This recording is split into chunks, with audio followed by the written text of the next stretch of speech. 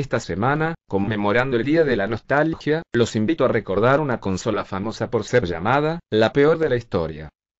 Fue conocida por su nombre, Cibo.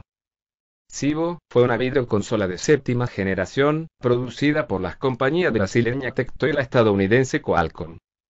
Era una consola muy pobre técnicamente incapaz de competir con sus contemporáneas. En palabras de sus creadores, la Cibo no había sido diseñada para competir con el resto de las consolas de su generación, sino para buscar encajar en un mercado de menor escala aunque al final su precio en México era muy alto, dado que por menos de eso se podía conseguir una PlayStation 2, muy superior y con un catálogo infinitamente más amplio, la compañía productora de Cibo la definía como una consola que ofrece la diversión, la emoción interactiva y la educación para los que han tenido poco o ningún acceso a esta tecnología.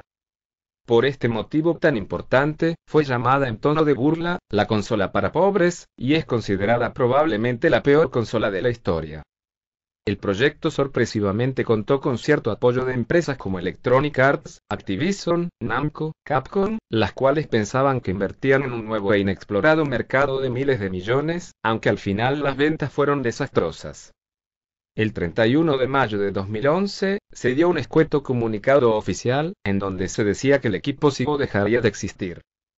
El soporte de la consola y el servicio a Internet cesaron el 30 de septiembre del mismo año, además de no producirse más consolas Cibo. La consola inicialmente fue lanzada en Brasil, México, China e India. Como dice mi amigo Dross, si te gustó, dale pulgar arriba y suscríbete. Quiero recomendar a mi audiencia que se suscriban a ReFriends, un canal para pasarla muy bien y divertirse con mi amigo, Facu Rivero.